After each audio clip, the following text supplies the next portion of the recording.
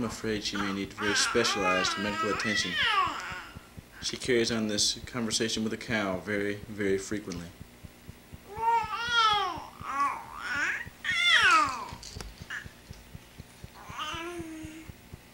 And it's the cow, not the mirror, that she's talking to.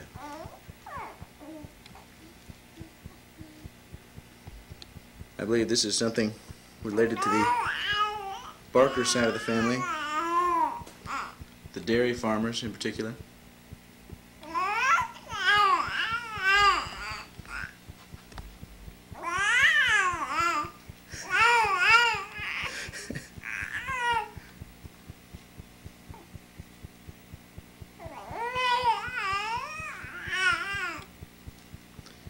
She's telling her cow all about her three month birthday today.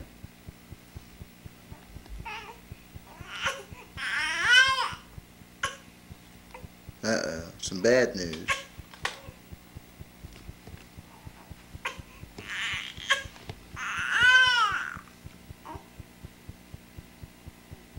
You tell him what for.